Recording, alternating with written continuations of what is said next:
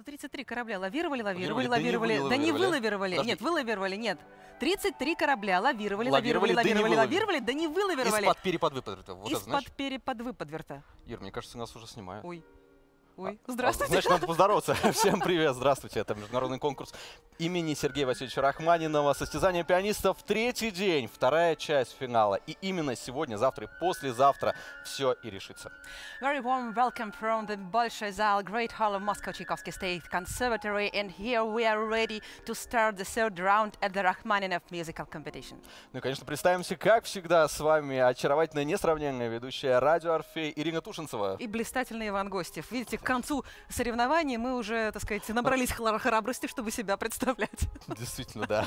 So just was the introduction of us actually. Um, host of the Radio Orpheus Tushintseва and TV host Иван Гость. Ну что ж, э, мы вступили в, точнее, через пару минут начнем последний финальный раунд состязания пианистов здесь на Рахманиновском конкурсе. И можем с гордостью сказать, что за 10 конкурсных дней количество просмотров, трансляций, онлайн-трансляций международного конкурса имени Рахманинова достигло 5 миллионов. Нас смотрят в 66 странах мира. Это Россия, Беларусь, Китай, Штаты, Соединенные Штаты Америки, Япония, Германия, Южная Корея. Я сейчас замучаюсь далее продолжать весь этот список. На самом деле так здорово, что вы все с нами и все следите за событиями конкурса. Uh, now there's a bit of top information we're very proud about. Uh, so uh, the views, the amount of views are about 5 million all over the world of our broadcast and actually top uh, top 10 I'd like to say uh, countries are Russia, Republic of Belarus, China, the United States of America, Japan, Germany and so and so on. There a lot of countries actually. Ну и, конечно же, самые горячие болельщики находятся в России. Мы следим с огромным интересом за тем, как разворачиваются события на конкурсе. И э, хотелось бы сразу сказать, что не только в Москва находится в приоритетном положении, потому что здесь происходит это соревнование, но и наша северная замечательная столица Санкт-Петербург будет первым городом, который услышит уже лауреатов первого конкурса Рахманинова, потому что 28 июня там состоится гала-концерт при участии лауреатов Рахманиновского конкурса по трем специальностям фортепиано, дирижирование и композиция. Actually, St. Petersburg will be the first city where our laureates will perform their programs. Actually, at uh, 28th of June uh, in uh, St. Petersburg, uh, in the uh, concert hall of the Mariinsky Theater, our laureates will perform their programs. So stay tuned. Ну и, собственно, третий тур, третий раунд. Все сольные выступления позади. Согласно регламенту, третий тур, второй этап – это выступление солистов с оркестром. И это то самое время, когда мы начинаем оглядываться в прошлое и уже понимаем, что вот-вот конкурс закончится, сейчас какие-то ближайших три дня, и мы с вами узнаем лауреатов первого Рахманиновского конкурса. Ну что ж, давайте э, последуем хорошей традиции, вспомним запомнившиеся страницы этого конкурса и с чего все начиналось. Let's just watch the video how it all began. So let's watch. Добро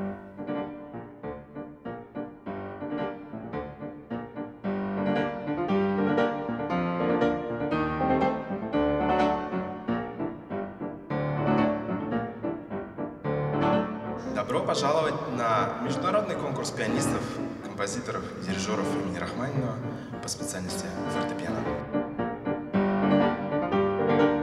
Номер один, number one. Никогда не участвовала именно первая на конкурсах. А, Я была третья, десятая, неважно какая, но только не первая. И вот сегодня это случилось, и я думаю, ну, значит, так надо.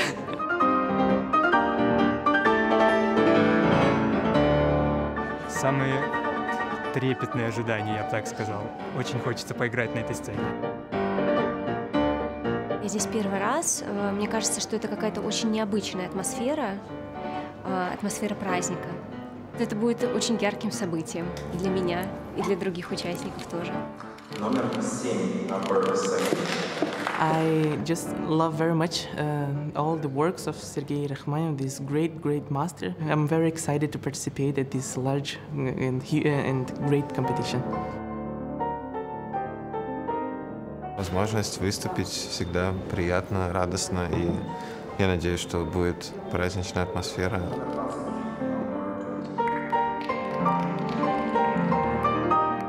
Such a high level competition and it's very important competition. So I'm very happy I can join this and uh, I just hope I can say to everyone what I'm really thinking about and my understanding of music and Rachmaninoff. Я не так много участвовала на каких-то конкурсах, то есть я не любитель больших э, конкурсов, но именно этот конкурс я, не задумываясь, сказала, что я пойду, я буду готовиться, и в итоге вот я здесь, и я безумно этому рада. Ну, казалось бы, да, неделю с небольшим назад была еще жеребьевка, и вот уже все, мы в финальном раунде, третий тур, а, вторая его часть. Мы за эту неделю с небольшим пережили столько музыкальных впечатлений, они были такими насыщенными, эти музыкальные дни. И сегодня начинается вторая часть третьего тура, выступление с оркестром. Настраивают рояли, буквально через несколько мгновений уже, да, на эту сцену выйдет а, Государственный академический симфонический оркестр имени Светланова, который будет сопровождать всех участников, выступать вместе с ними под руководством Юрия Ткаченко. These were the moments, uh, the starting point of piano competition here in Moscow, the drawing of lots, and actually we survived many, many beautiful, brilliant uh, musical moments here in the great hall of Moscow Tchaikovsky State Conservatory. And now we are ready to start the third round. Uh, that due to rules of the competition, um, comprises um, performance of piano concertos by Rachmaninoff, of course, himself, and of course his contemporaries. Ну, немножко напомним вам о регламенте, о программе третьего тура, точнее, второй его части. Это два а, произведения для фортепиано с оркестром. Первое обязательное произведение Рахманинова. Тут выбор довольно большой. Четыре концерта для фортепиано с оркестром или рапсодия на тему Паганини. А вот второе произведение — это сочинение одного из современников Рахманинова. Вы услышите много интересной музыки, как говорили не раз наши гости. Это в том числе и просветительская работа, потому что прозвучат э, произведения, ну, в общем, не так часто исполняемые на, большом, на большой сцене, на большой эстраде. И уже сегодня вас ждут такие музыкальные откровения. Да, не будем предвосхищать, вы сами все услышите. Вот. Ну и, конечно, не запрещено правилами исполнять сразу два э, произведения Рахманинова в рамках третьего тура. Of course, we anticipate in Rachmaninoff music uh, and actually just going ahead of the train, as we uh, say here in Russia. Uh, I may say that tonight we are going to listen to three piano concertos by Sergei Rachmaninoff, his Rhapsody on the Theme by Paganini, and one external piece, you know, it will be Richard Strauss, his uh, Burlesque. Окей. Okay. всю интригу рассказал. Ну ладно, ну, что? ничего, послушайте, в общем, сами все оцените. А сейчас давайте посмотрим, как, собственно, наши участники вчера проводили время, как они репетировали, и несколько интересных и неожиданных моментов вы прямо сейчас увидите, обещаю. And right now our new video about our contestants and how they yesterday uh, collaborated with the conductor Yuri Tkachenko. Actually, he's going to accompany our contestant here with Svetlana of uh, State Academic Orchestra. And let us watch this video.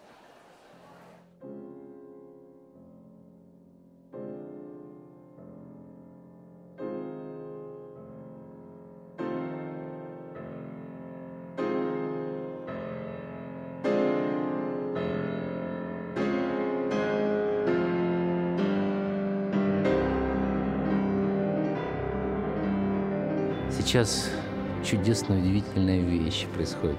Это первая встреча перед репетицией у солиста и дирижера, без оркестра. Это очень важно почувствовать солиста, понять его настрой, намерение, а услышать его концепцию. Иногда проверить ноты, такое тоже бывает, потому что бывает такое, что солист где-то э, что-то. И не выносить это уже нашу какую-то такую тайную встречу на обзор оркестру, потому что когда репетиция, все должно быть готово.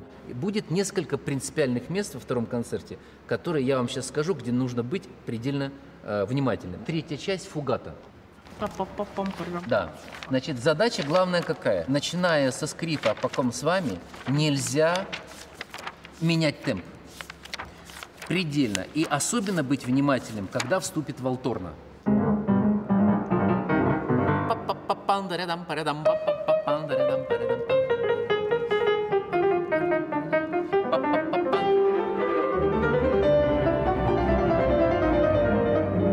it was a very good time to listen to him, to his um, advices and what we have to do um, um, to make everything together with the orchestra.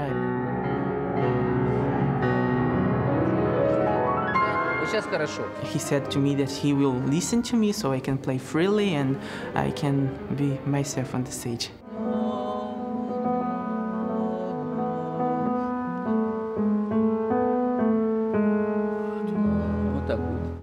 Это такая э, профессия, субстанция ощущать. Кто-то хочет рассказать, что он хочет сделать. Солист. Я ведь отвечаю.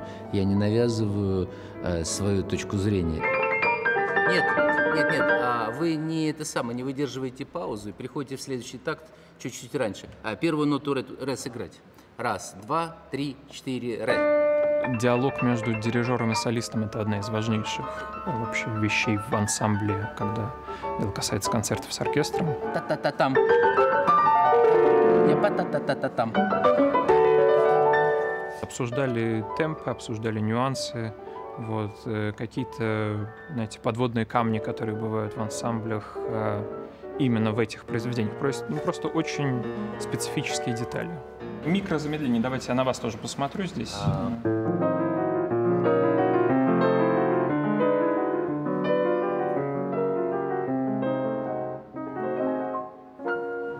сразу, сразу. Я запишу. Да, ну, мне кажется, Сразу, небольшой. да. Наша задача дать возможность раскрыться солисту. Он хочет рассказать, как он хочет сыграть этот эпизод. Я его внимательно слушаю. Он хочет сыграть этот эпизод. Я его тоже внимательно слушаю и смотрю, какие у меня возникают ощущения, э, как э, мы находим вот это вот взаимодействие.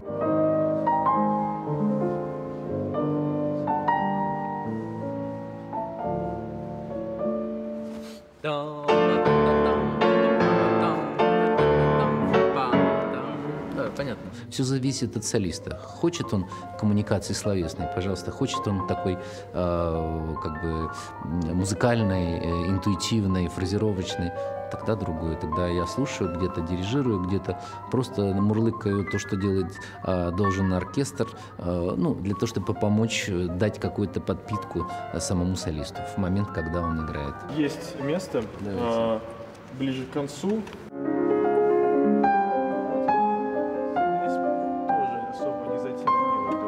Вас, от вас, от вас все будет. Вы моторчик. Эта встреча нужна прежде всего для того, чтобы возникла та магия, которая должна всегда возникать между солистом, дирижером и оркестром, потому что это абсолютно необъяснимое действие, когда нужно со всеми людьми, сидящими на сцене, думая в то же время о музыке, чувствовать всю эту область музыкальную и идти вместе с ней по музыкальной мысли.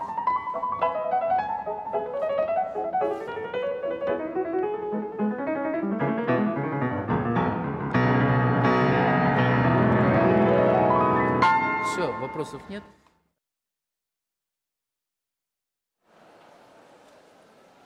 Потрясающее видео, не правда ли, друзья? Фактически очная ставка пианиста и дирижера. Откровенно говоря, я впервые наблюдаю такую картину, как происходит без оркестра. Просто дирижер с партитурой и солист за инструментом. Как происходит это взаимодействие, совершенно удивительное. Мне кажется, а, это, в общем-то, такой ноу-хау конкурса. Эксклюзив, можно сказать. Эксклюзив конкурса, вероятно, чтобы, так сказать, э, улучшить вот этот момент взаимодействия дирижера и пианиста. Ну и, возможно, если у солиста есть какие-то отдельные пожелания, соответственно, у дирижера, чтобы это можно было решить вот в такой, э, так сказать, дружеской атмосфере.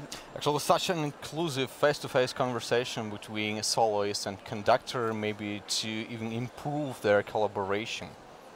Ну что ж, мы ждем появления артистов Государственного академического симфонического оркестра имени Евгения Федоровича Светланова здесь на сцене Большого зала. Напомним, что именно этот оркестр сопровождает весь третий тур, второй оркестровый этап на этом конкурсе. А дирижер маэстро, заслуженный артист России Юрий Ткаченко. И первый э, участник, который выйдет на эту сцену, это полюбившийся уже за предыдущие туры музыкант, пианист Константин Хачикян, который представляет Россию. Actually, as we already informed you, our participants will play with uh, the State Academic Symphony Orchestra Evgeny Svetlanov uh, under conducting of honored artist of Russia Yuri Tkachenko. And the first participant actually here who opens our second stage of the third round will be Konstantin Khachikyan from Moscow. Ca- He has graduated from the Moscow Conservatory.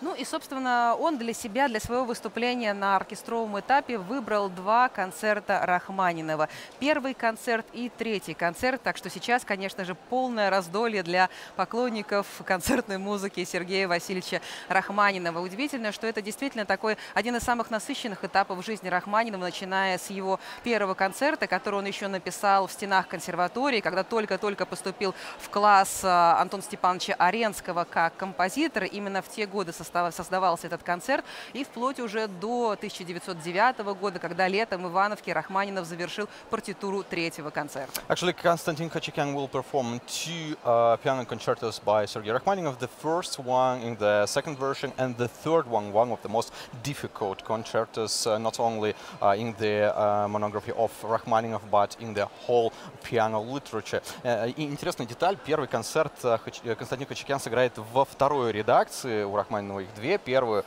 собственно, относится к его юношескому периоду, 92 год. И тогда относительно неудачным было исполнение, играл сам автор и дирижировал Сафонов. Ну и вот как-то не очень пришлась по душе эта трактовка, а спустя 20 там, с лишним лет Рахманинов переделал этот концерт, сократил его, транспонировал среднюю часть третьей части, и вот это исполнение уже запомнилось.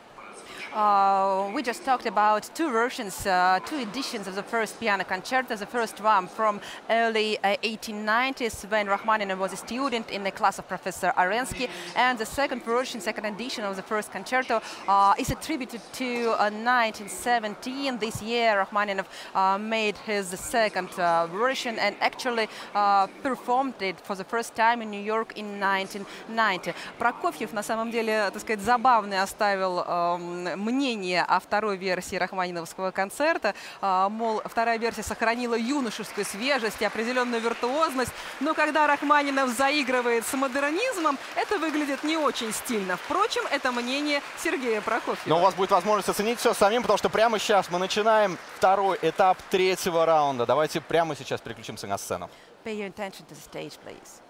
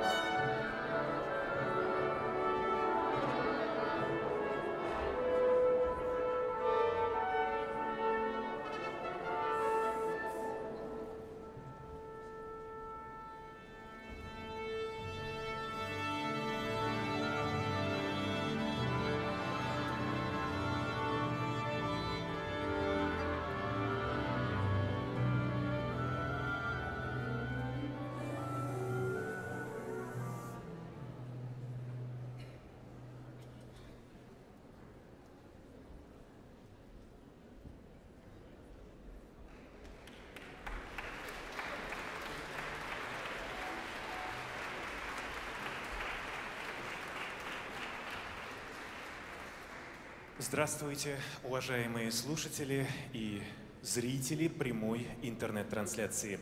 Мы начинаем второй этап третьего тура по специальности фортепиано международного конкурса пианистов, композиторов и дирижеров имени Сергея Рахманинова.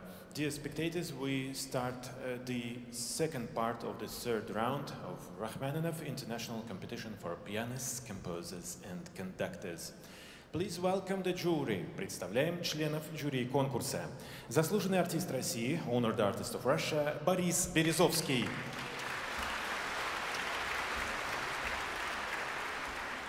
Владимир Виардо, Россия, США, Russia, USA. Та Куандонг, Вьетнам. Фредерик Кэмп, Великобритания, Германия, United Kingdom, Germany. Лю Ши Кунь, Китай, China.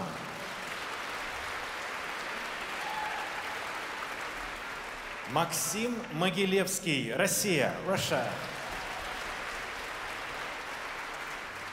People's Artist of Russia, народный артист России Владимир Овчинников.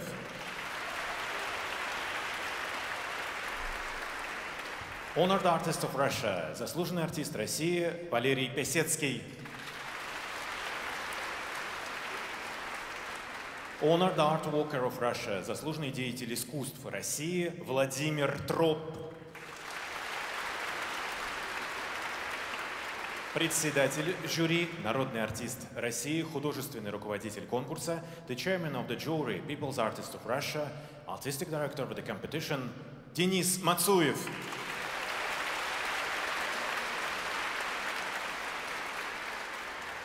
Please welcome on the stage State Academic Symphony Orchestra Евгений Светланов. Приветствуйте Государственный академический симфонический оркестр России имени Евгения Светланова.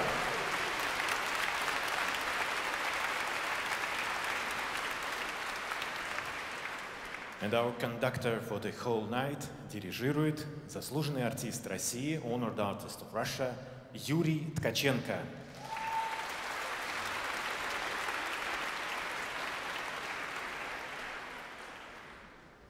Открывает прослушивание этого дня участник номер 6, number 6, Константин Хачикян, Россия, Russia.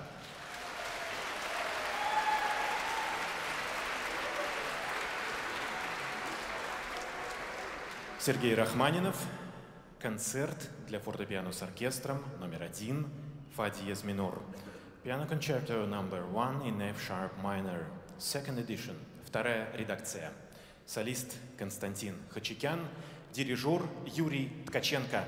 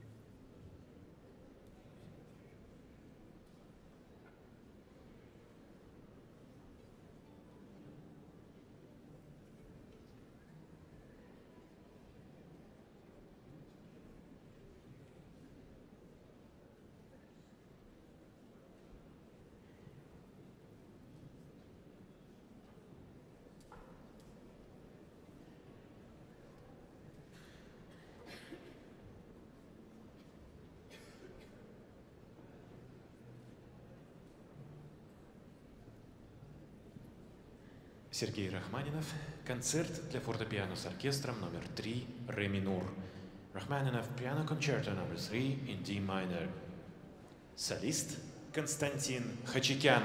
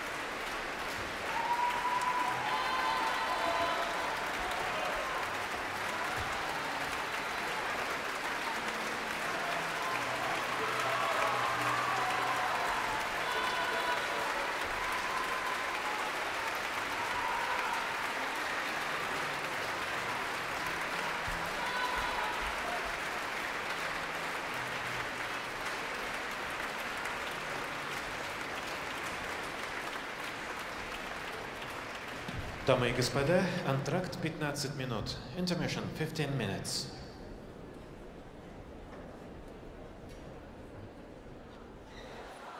Вы слышали эти несмолкаемые аплодисменты большого зала Московской консерватории. Конечно, тут совершенно сумасшедшая, волшебная, магическая атмосфера. Прямо сейчас закончил свое выступление Константин Хачикян вместе с Государственным академическим симфоническим оркестром имени Светланова. Он представил два сложнейших произведения, два концерта Рахманинова, первый и третий фортепианные концерты. Almost 10 innovation uh, the audience of the Great Hall of Moscow State Conservatory gave to Konstantin Khachikyan, who just finished his performance here on stage. He was the first one to begin second stage of the third round of the competition. Ну, конечно, ощущается вот эта вот нес- несравнимая атмосфера, да, понятно, что и первый, и второй туры, да, вс- чувствовалась э, э, публика, чувствовалась их, э, скажем так, поддержка, но вот на третьем туре, особенно что касается оркестрового, э, оркестрового раунда, это что-то невообразимое. Но это всегда так было. Всегда третий тур с оркестром вызывает наибольшее внимание и привлекает публику. Ну, прежде всего, конечно же, яркостью исполнения, так сказать, г-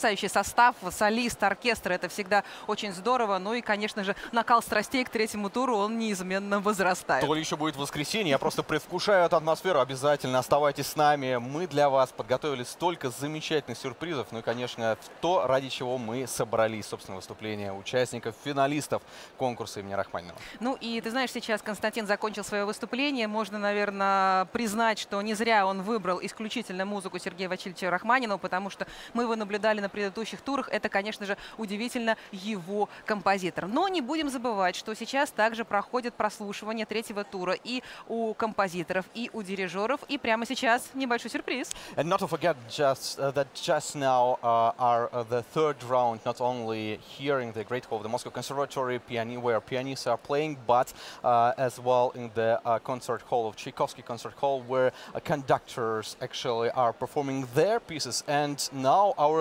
live video, how is it going uh, in Мы переключаемся на сцену концертного зала имени Чайковского, где прямо сейчас проходит прослушивание у дирижеров вместе с оркестром Мариинского театра. Давайте посмотрим.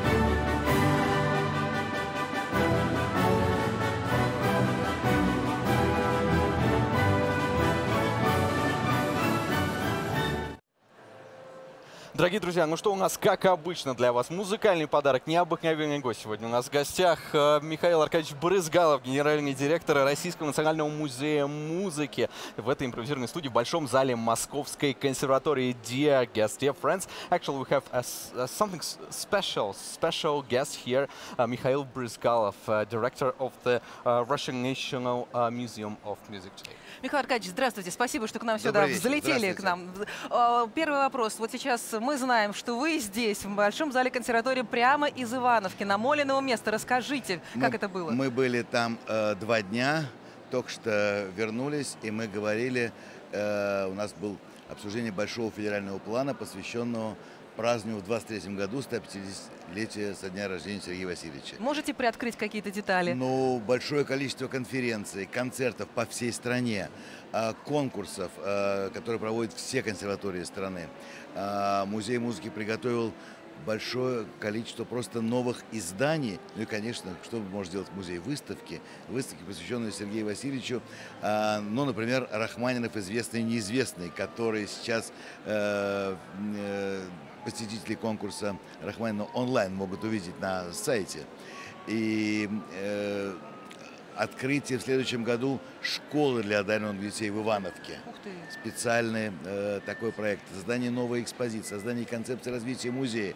Мы провели там два очень плодотворных дня, обсудили. Это была такая встреча, организованная Министерством культуры России и заместителем министра Аллы Юрьевны Маниловой, все городские власти областные. В общем, мы достаточно плодотворно поработали.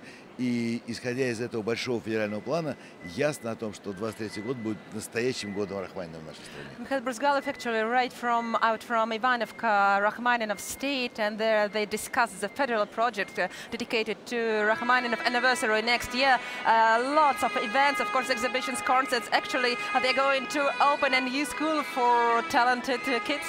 Николай Аркадьевич, вы уже, вы уже затронули тему выставки, онлайн-выставка, да, Рахманинов известный неизвестный, которую все э, зрители наших трансляций, да, и все поклонники творчества Рахманинова, конечно, могут посмотреть онлайн, но также есть выставка в Большом зале Московской консерватории, в фойе проходит. Вот расскажите о самых интересных экспонатах. Эта выставка, у нас две выставки представлены к этому конкурсу. Это выставка «Вселенная Рахманинова», выставка Рахманинов известный неизвестный, и еще каждый день ежедневно на страницах российской газеты идет дневник фестиваля и есть специально приготовлено к конкурсному прослушиванию статьи наши из фондов нашего музея, посвященные конкретно дирижерам, пианистам, э, композиторам. Все это из материалов нашего музея. Значит, мы храним 3700 единиц хранения Рахманинова. Весь Рахманинов, который есть в нашей стране, он весь хранится в наших фондах. А, что а, можно прервать? Это откуда, кто перед, передал фонд в музее? А, фонд начал формировать сам Сергей Васильевич. Первые экспонаты передал сам лично в музей. Потом уже его родственники, потом уже это собиралось по всему миру. Ну, в общем, 3700 это достаточно Поразительное много. количество. Это, это много. Но я вам хочу сказать только о нескольких э, очень интересных экспонатов, они известны. Есть общеизвестные факты, которые все знают. Ну, например, никто не знает, что в нашем музее хранятся все паспорта Сергея Васильевича, которые есть от начала до конца. Вот все паспорта находятся находятся у нас. Или, например, мы сейчас показываем тот факт, когда Сергей Васильевич э, передал господину Сикорскому, известному изобретателю вертолетов и самолетов, э, когда Сикорский организовал свою фирму по созданию самолетов, э, компанию. Вице-президент у него был Сергей Васильевич Рахманинов. Вот это интересная Вице-президент. Вице-президент. Вице-президент. Он был президент, а больше никого не было. Был президент и вице-президент. И Сергей Васильевич Рахманинов передал большой взнос, 5000 долларов на, по тем деньгам, это, в общем, был серьезный взнос, на, в общем, создание э, само, э, вертолета, самолета, в общем, а, авиа, а, э, какого-то авиационного изобретения. Так вот, то, что тогда они начинали, сегодня все существует. Все это называется компанией Pan American. Ух ты, то есть это, по сути, они дали рождение такой Они дали компании. рождение этой компании. Или, например, э, переводе со старого стиля на новый стиль э, путаются историки в датах. Ну, например, все считают, что Сергей Васильевич писал, я родился 2 апреля. Проясните эту ситуацию Да-да, раз и я навсегда, родился чтобы больше 2 не апреля. спрашивали. Он сам говорил. А когда пересчитывают, потому что каждый год прибавляется один Да, день, да. то считается, что 1 апреля. Но сам Сергей Васильевич сказал, я родился 2 апреля. Дальше он сказал, я родился в Онеге, в селе Онега Новгородской области. На самом деле Сергей Васильевич родился в селе Семеново Новгородской области. Но и там, и там стоят две мемориальные доски. Здесь родился Рахманинов. И в селе Онега, и в деревне А, но Семеново. он же не мог и там, там. Значит, по нашему э, и по мнению наших специалистов, все-таки он родился в Семеново, потому что потому что его там крестили, потому что вряд ли можно было человека, родившегося 1 апреля, повезти за 200 километров креститься. Мгм, младенцем да, крестили, да, да? крестили его э, в, в деревне Семенова. Так все-таки он 1 апреля родился, мы А, сейчас считаем. Если человек пишет, что он пишет, я родился 2 апреля, значит, мы считаем, что он родился 2 апреля. Ну, Значит, мы считаем, свет, что наконец. 2 Мы 2 апреля. апреля мы считаем. Ага, понятно, хорошо. Будем знать, что Сергей Васильевич все-таки родился 2 апреля. There was some unique information. Actually, our exhibition is available in two types: uh, the offline and online. And there is some unique information about Exponas. Actually, the passports of uh, Sergei Rachmaninov, the interesting facts about collaboration between Rachmaninov and Sikorsky, and as well the controversial date of birth of Sergei Vasilyevich Rachmaninov. And he was born actually on the 2nd April.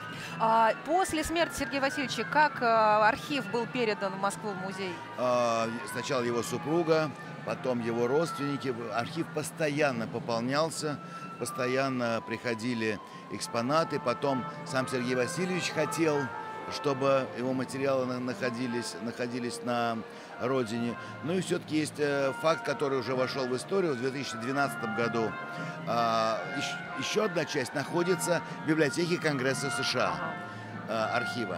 И в 2012 году мы с библиотекой Конгресса обменялись электронными копиями всего э, музыкального наследия. Поэтому и у нас, и в библиотеке Конгресса есть все, что написал Вот это Сергей настоящий Васильевич. пример Да. сотрудничества, которое должно быть на Да. самом деле между странами. А вы знаете, Михаил Аркадьевич, что случилось с архивом Рахманинова, когда он уехал? Он же взял с собой только, как говорится, золотого петушка, версию концерта, все остальное осталось здесь. Какова судьба этих рукописей? Эти, весь архив собран сразу находится у нас Весь в он к вам музее. попал. Да. Вот эти вот 3700 единиц, это, все это, в богатое, общем, богатое все, наследие. наследие Рахманинова. Чем мы несказанно гордимся, трепетно к этому относимся и очень много работаем э, с этим материалом. Михаил Аркадьевич, вот еще какой вопрос. А вообще принято, так вот скажем, считать э, Сергея Васильевича Рахманинова как человека очень такого мрачного, сосредоточенного, нелюдимого, да, в чем-то. Но а, часть выставки, она специально посвящена Рахманинову несерьезному, шутливому. Вот И каким во- же он и- был на и самом деле? есть, и это исторические факты, что он писал музыкальные шутки, он писал э, приношения какие-то ко, ко дням рождения. Это и есть. Это говорит о том, что Рахманинов был не всегда такой угрюмый, как его, как, как его запечатлевали фотографы и Ему писали фотографироваться художники. не нравилось. Да. В общем, Возможно. это был нормальный человек, который любил жизнь, который откликался на... В общем, надо воспринимать Рахманинова э, разносторонним, а не только таким серьезным, сосредоточенным, которым мы знаем его на всех общеизвестных фотографиях. The question was actually about uh, what uh, type of character um, was uh, as a person uh, Rachmaninoff, and Rachmaninoff was ac- actually different. He could be a bit serious, but he uh, had a great sense of humor as well. А, Михаил Аркадьевич, а ваш любимый экспонат, вот так сказать, из всего наследия, принадлежащего Паспорта Рахманинову? Сергея Васильевича. Паспорта, что в них Сколько особенного? их? О, их э, четыре, четыре, четыре паспорта. Они са- и зарубежные пас- паспорта, и внутрироссийские паспорта. И там и очень интересно рассматривать большое количество печатей. Сколько Это границ. визы, я он- так понимаю, Это да? визы, печати, подписи. Это, это мое любимое занятие, разглядывать паспорта Сергея Васильевича. The question was actually your favorite uh, artifact um, in the exhibition, in the collection, uh, Rachmaninoff Foundation. And uh, Mikhail Brizgalov just answered that these are his passports, uh, very many of them with visas, uh, stamps, and so on, with uh, transferring borders and, you know. Михаил Аркадьевич, в этом году мы празднуем день рождения, 110 лет э, Российского национального музея музыки. Расскажите, пожалуйста, вот немного о том, э, какие сейчас тенденции вообще в музейном искусстве, как вы используете мультимедийные технологии. А, Хэштег нашего музея, наш девиз «Музей, который звучит». Все выставки, включая те, которые находятся здесь, на сайте, посмотрите, эти выставки необычные, они все звучат. На наших выставках вы можете услышать через QR-коды, где Рахманинов играет Рахманинов, где Рахманинова, где э, звучит голос Федора Ивановича Шаляпина, где есть много рассказов. Конечно, мы работаем со звуком, мы работаем с музыкой, все, что мы делаем. И когда вы придете э, во, все музеи э, нашей системы, Российский национальный музей музыки, вы обязательно будете слушать музыку. Вы обязательно будете слушать э, фондовую музыку, вы обязательно увидите оригиналы или цифровые копии тех или иных произведений. В общем, мы, конечно, много работаем с мультимедиа, потому что се- сегодня такой век, и мы стараемся, очень стараемся не отставать от времени. Actually, my question was about um today's uh, tendency in the museum arts, because uh, this year the Russian State National Museum of Music celebrated its anniversary, and actually one of the most interesting projects Rachmaninov plays Rachmaninov uh, under hashtag. Actually, with the help of QR code, it's possible to listen to music performed by Rachmaninov himself. Наши помощники нам активно показывают, что мы должны завершать это интервью. К сожалению, нашему огромному. Михаил Аркадьевич, огромное вам спасибо. Вам спасибо. Обязательно придем не только онлайн, но и лично в ваш Приходите. Музей, музей. чтобы пощупать, посмотреть и все так С удовольствием. Будем вас воочию. встречать. Спасибо огромное. Спасибо. Ну а у нас сейчас в продолжении нашей трансляции небольшое видео из проекта хэштег «Мой Рахманинов». Now, as a video from the project My Rachmaninov, actually Bashmet presents the second concerto. Let's watch. А тут, конечно, в душе Битлз. Какой там Рахманинов? Или кто-то еще.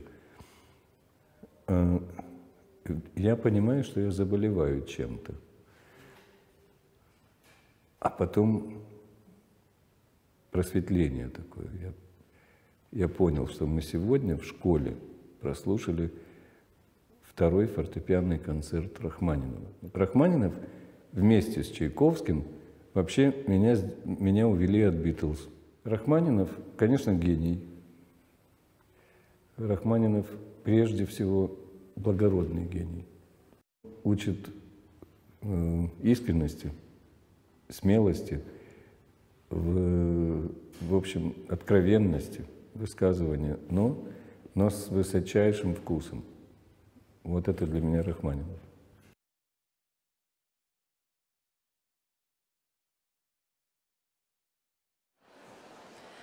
Ну что ж, дорогие друзья, мы с вами вновь окунулись в ту огромную работу, которую делали все, кто устраивает этот конкурс, наша замечательная команда, потому что, ну, наверное, наша трансляция не была бы такой интересной без вот этих вот удивительных сюжетов, которые снимались специально для этого конкурса, и это был проект «Мой Рахманинов». Actually, we couldn't make our broadcast such interesting uh, without our colleagues, and many thanks to our team that actually prepared all of these videos and all of our materials that you watch. И недаром мы показали фрагмент, именно этот фрагмент интервью с Юрием Абрамовичем Башметом. Он говорил о втором концерте, потому что именно этот концерт для своего выступления выбрал, выбрал наш следующий конкурсант Арсений Тарасевич Николаев. В его программе как раз-таки два разных композитора, которые позволят, наверное, сравнить, может быть, в какой-то степени столкнуть а, разные стили, направления той эпохи, того удивительного времени, в котором жил Сергей Васильевич Рахманинов. Итак, Рахманинов второй фортепианный концерт и Рихард Штраус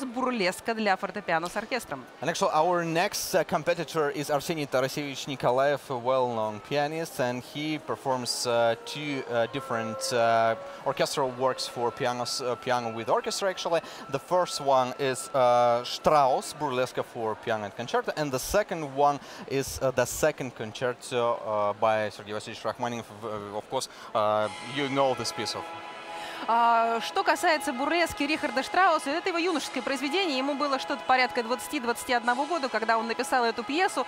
А, собственно, посвятил ее великому Гансу фон Бюлову. Бюлов пригласил Рихарда Штрауса тогда вторым дирижером в Мейнингенский оркестр. И когда он показал Бюлову эту партитуру, Бюлов сказал, что это... а, Сложновато сыграть будет. Нет, что это просто чепуха. Очень сложная чепуха, которую играть невозможно. Но впоследствии история все расставила на свои места, и это было одно из любимых сочинений у Рихарда Штрауса. Вот так вот прекрасная музыка через годы, через расстояние становится действительно гениальной. Ну что, друзья, давайте прямо сейчас погрузимся в гениальную музыку. Арсений Тарасевич Николаев вместе с ГАСО имени Светланова. Дирижер Юрий Ткаченко представляют произведения Рахманинова и Штрауса. Так, Арсений Тарасевич Николаев is uh, State Symphony Orchestra named after Evgeny Svetlanov and the following program Richard Strauss Burlesque for piano and orchestra and Rachmaninoff the second piano concerto.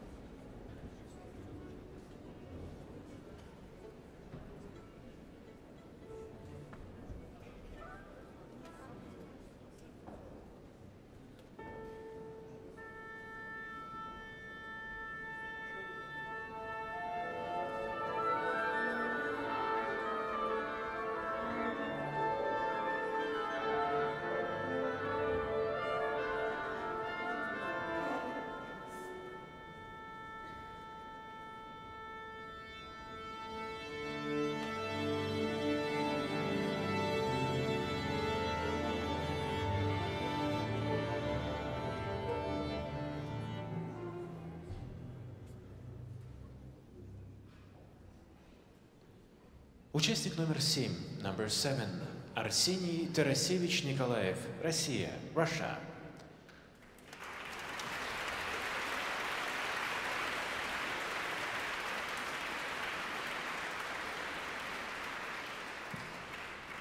Strauss, Burlesque for piano and orchestra in D minor.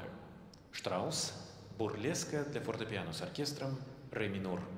Солист Арсений Тарасевич Николаев, дирижер Юрий Ткаченко.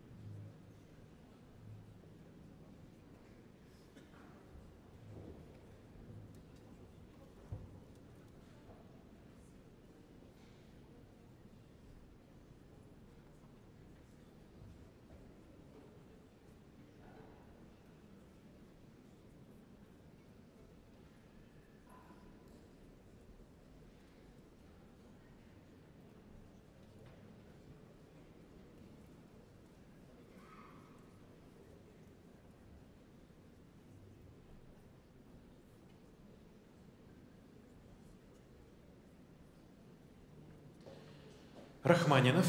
Концерт для фортепиано с оркестром номер два до минор. Рахманинов.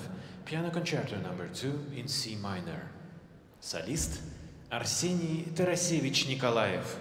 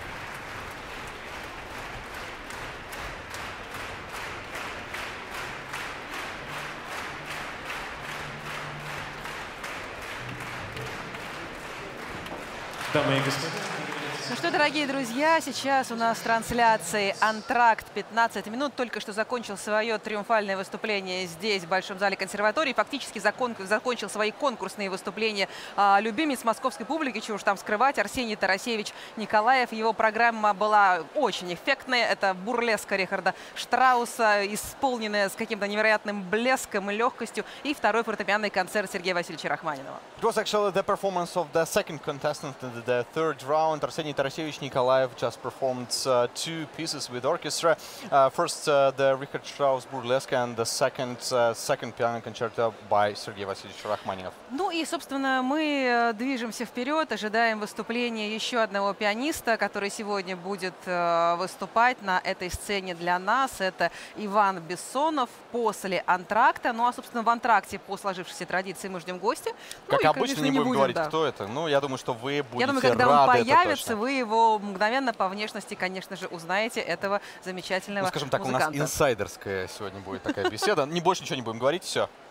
Ну и, собственно, продолжаем мы наслаждаться с вами музыкой Сергея Рахманинова, удивительного пианиста, дирижера, композитора. Как мы уже, кажется, вспоминали, он сам жаловался, что не может заниматься одновременно этими своими тремя профессиями. Хотя, в принципе, это дирижирование для него не было вот той самой деятельностью, в которой бы он получил хоть какое-то, ну, скажем так, академическое образование. Да, Более того, он сам, он сам говорил, что я, не обла... я хочу дирижировать и чувствую, что могу дирижировать, но не обладаю никакой техникой. И тем не менее совершенно блестяще проявил себя как дирижер. Э, Впервые это случилось в частной опере э, Мамонтова. Мамонтова, да, конечно. Причем вот тоже была интересная история тогда с Рахманиновым, потому что он взялся за исполнение жизни за царя, и, так сказать, он не мог понять, а что же происходит. Партитуру он знал, все он знал, вступление голосов, оркестр. Он не понимал, что певцам, оказывается, тоже нужно показывать вступление. Это для него было в новинку. Ну, вот так постигаются уже на практике определенные, так сказать, тонкости ремесла.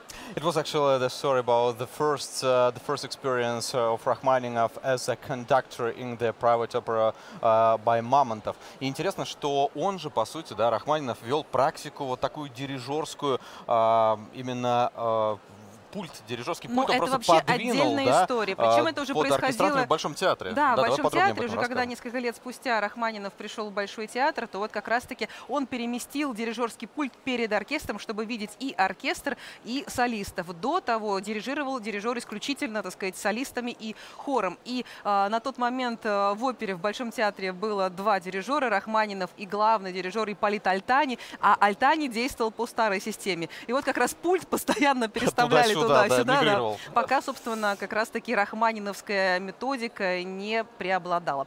Ну что ж, дорогие друзья, мы переключаемся с вами на видео, которое подготовили э, мы для вас, специально для нашей трансляции. Фрагмент проекта «Мой Рахманинов», интервью Юрия Симонова. Actually, we discussed uh, the art of conducting, and now let's watch the video by conductor, famous Russian conductor Yuri Simonov.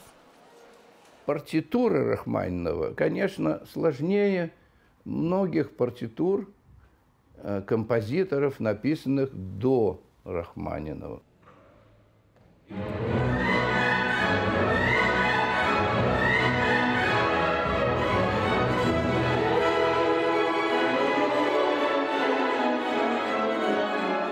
Она как слоеный пирог, она такая многослойная очень, там, скажем, мелодия играет виолончели, э, альты играет аккомпанемент, скрипки эту же мелодию, первая флейта играет эту же мелодию, первая труба, остальные играют гармонии, то есть несколько, несколько разных инструментов играет одно и то же, потом расходятся, переплетаются. В общем, нужно иметь большое мастерство, чтобы эти линии все выявить, чтобы они не, не производили впечатление каши какой-то. У Рахманинова почти все, почти вся фактура вот обладает этими сложностями, этими переплетениями. И, э, и дирижеру надо быть очень умным и профессиональным, чтобы распутать эти линии, чтобы заставить их звучать привлекательно. Ну что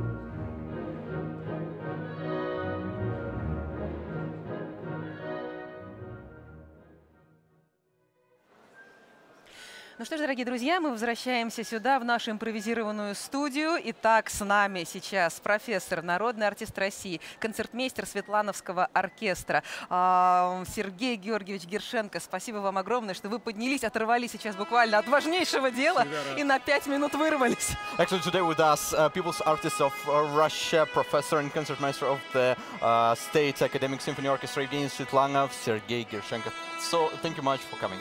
Ваши ощущения от того, что сейчас здесь происходит? Ну, это же праздник. Это же действительно подлинный праздник. Какие талантливые ребята, да? Как Такой вот- уровень. Это очень приятно. Как Ну, происходили Музыка гениальная, понимаете. Чем, чем сложнее периоды в жизни, тем острее ощущаем гениальность того, что нам оставили великие доктора, гениальные композиторы. Врачеватели людских сердец. Безусловно. А как происходили репетиции с ребятами? Вот то, что они выдавали на репетициях и сейчас, на ваш взгляд, они выдают здесь сейчас максимум или... Вы знаете, для нас э, важна, так сказать, принципиальная позиция музыканта, да, его принципиальное отношение к музыке, так сказать, и видение, и невидение, и, в общем, так сказать, весь комплекс. Поэтому, ну, что-то у кого-то что-то чуть лучше, что-то чуть хуже, это нормальное явление. Как всегда, с Мстиславом Леопольдовичем Ростроповичем много играл. Как-то помню, мы с ним сидели в Мадриде. Говорили в антракте репетиции нашей. И Он говорит, знаешь, стоячок, Зна- он всех называл, стоячок, знаешь, стоячок, вот иногда ломаешь, ломаешь, но не получилось так, как хочется, стоячок, не получилось. Но если мысль есть, она все равно доходит. Понимаете, это относительно у кого что было лучше, у кого что было хуже. Понятно. Да, действительно интересно. Сергей Георгиевич, ну вот, э, смотрите, сегодня, я так понимаю, состоялись репетиции с участниками, да? Э, Как за такое короткое время, да, которое отведено, в общем, на репетиции, э, со многими наверняка вы играете в первый раз, как создать вот эту вот атмосферу, чтобы солист и оркестр стал единым музыкальным организмом? Ну, единым организмом, понимаете, честно говоря, не всегда удается. Стараются. Ну, первоклассный оркестр, опытный, все это знают, все, так сказать, в ушах, поэтому мобильный коллектив. Вы же слышите, да, что, конечно. так сказать, оркестр на все реагирует. Все разные, ну, это, это уже, так сказать, наработки профессиональные, да, наработки сразу, так сказать, стерео включать свое. Мгм. А понятно, что, конечно, безусловно, да, э, обязаны, что называется, быть объективными, да, и все участники, да, предоставлять одинаковые возможности. Но если все-таки момент какой-то, вот, может быть, личных симпатий, трактовок, э, более близких или менее близких? Вы знаете, для меня, так сказать, не вопрос, а, в какой именно травко, трактовке или манере. Для меня гораздо важнее уровень интонирования музыканта. Но чтобы был этот уровень, он может быть свой, так сказать, всё. Потому что, знаете, как говорил мой профессор, великий человек Давид Федорович Ойстрах, да, он иногда что-то скажет, и он говорит, да, в основном играют обрывками чужой экспрессии. Ух ты. Обрывками Понимаете, где-то как-то по слуху что-то. Чтобы проинтонировать, пропустить через себя, очень мало кто на это способен. Вот последний конкурс Чайковского, да. Я считаю, что самое яркое явление в перспективе это Алексей Мельников. Мы это всех раскусываем сразу, да? Да, правда. Пару фраз мы уже понимаем, кто чем дышит. А на что обращаете внимание? Это качество звука, На всё. это нюансировка, инт- интонация, На все, что? на все. Понимаете, сразу на уровень музыкальной речи. Понимаете? В исполнении. Вот и все. Вопрос интонирования. А, кстати, вот, э, так сказать, э, вот сейчас у нас будет сюжет из нашего проекта «Мой Рахманинов» Дмитрий Маслеев. Посмотрим интервью. Вы же, конечно же, играли, прекрасно знаете Да, этого ну, конечно, пианиста. да, да. Вот как, на ваш взгляд, э, так сказать, вот то, что он стал первой премией тогда на конкурсе Чайковского, это действительно, ну, в общем, справедливо, и, конечно, как он, ну, так сказать, проявляет Но себя он замечательно после. играл. Не знаю, первый, второй тур он играл потрясающе, с потрясающим качеством, безусловно. Третий тур э, маловато как-то опыта, так сказать, он менее был убедителен, мне кажется. Но, наверное, в совокупности он все-таки был же- лучшим, да. я думаю. Потом, знаете, как у нас устроено? Когда Гриша Соколов, я говорю, Гриша, потому что это наша школа питерская еще, Григорий Соколов, когда он в 16 лет получил первую премию в этом зале, а там играл такой очаровательный Миша Дихтер из Америки, очаровательный молодой человек. Ну, понятно, все бабушки, тетеньки, все. И потом симпатии. эта толпа на улице орала «Позор Гильельсу! Позор Гильельсу!» Прошло сколько, да? Сколько? Григорий Соколов один из самых великих пианистов последнего полувека. Да что, это умение увидеть перспективу, да? Понимаете? А кто такой Миша Дитер, никто Ну, кто не помнит уже, да. Но, во всяком случае, у нас... ну, наверняка замечательный молчок. Потом, когда Миша Плетнев, ну мы в общаге там жили, иногда хлебушка стрельнет, я вот привык Миша говорить, да. Миша Плетнев, когда он получил первую премию, его бабули тоже зажали вот эти ступеньки, где Рахманиновский зал, да, и говорили, откажись. Да откажи». что? Ну да, Призывали ну, конечно. это, же, отказаться. это же Ну, как футбол, понимаете, да? Да, да, это мы понимаем, Это что не как в футбол, таком но- масштабе, как опера в Италии была в 19 веке, да, но все-таки одно из, так сказать, спортивных мероприятий. Ну, а что ж мы удивляемся, что сейчас спорят Да, все, да? по разгораются жаркие разгораются. споры. Прошло время, и Миша Плетнев, один из самых выдающихся пианистов, опять-таки, последнего почти полувека. Знаете, вот такие вот интересные вещи. Так что с Димой подождем. Спасибо вам огромное. Спасибо большое, Мы Сергей вынуждены Георгиевич. отпускать Сергея Георгиевича. Подождите, сейчас Не минутку, не уходите. уходите. Мы переходим на видео и, конечно же, ждем появления Сергея Георгиевича во главе оркестра сейчас на сцене. Actually, now it's time to watch video with uh, Dmitry Maslev. А до этого я только Это мое любимое произведение вообще во всем репертуаре, э, даже классической музыки. Это «Рапсодия на тему Паганини». И впервые я услышал его, когда учился в десятилетке в Новосибирске. Мне было около 13 лет. И вот уже 20 э, с лишним лет э, я считаю, что это просто невероятная вершина.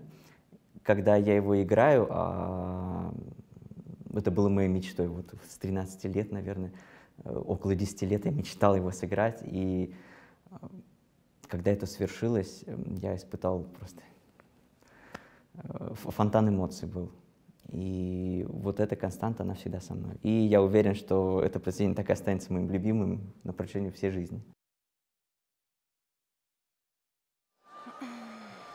Ну а мы сейчас, дорогие друзья, возвращаемся сюда, в Большой зал Московской консерватории. Не случайно мы вам показали этот отрывок э, Дмитрия, с Дмитрием Маслеевым, который рассуждал о, своем любимом произведении «Рапсодия на тему Паганини». Дело все в том, что сейчас, через несколько э, мгновений, это же самое произведение будет представлять э, другой конкурсант и, в общем, претендент на, на первые места конкурса Рахманинова Иван Бессонов. Как правильно заметил Сергей Гершенко, интуиция очень важный фактор предчувствования и ощущения музыканта, его, так сказать, перспектив и, наверное, степени его таланта. И я так понимаю, что мы при каждом конкурсанте здесь сейчас э, проверяем свою собственную интуицию. Ну, а результаты мы узнаем через несколько дней. Иван Бессонов продолжит нашу программу. Иван Бессонов, our next competitor, is going to proceed with the competition routine and he is going to perform two pieces by Rachmaninoff, actually, Rhapsody on theme by Paganini, and of course, uh, the second version for tonight of the second piano concerto.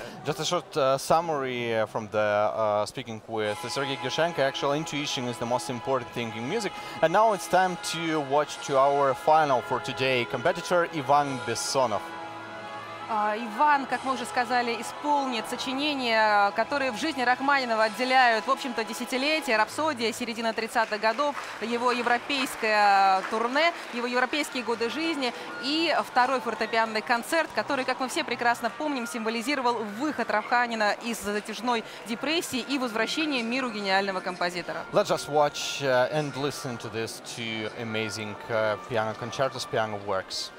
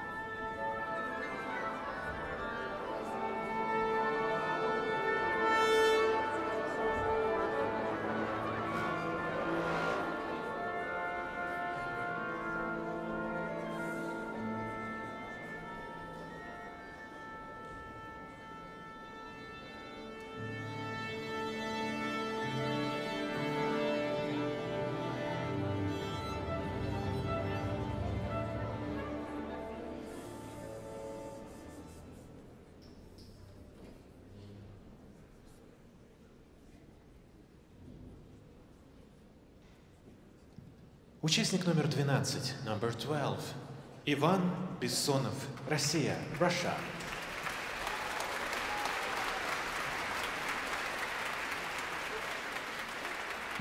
Рахманинов, Рапсодия на тему Паганини. Рахманинов, Rhapsody on a theme of Paganini. Солист Иван Бессонов, дирижер Юрий Ткаченко.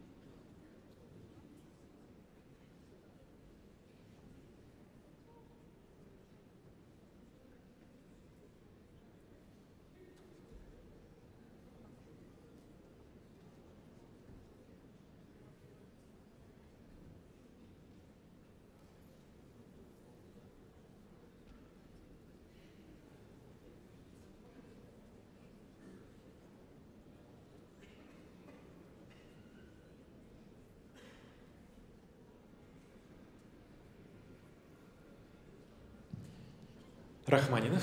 Концерт для фортепиано с оркестром номер два до минор. Рахманинов Piano Concerto number two in C minor. Солист Иван Бессонов.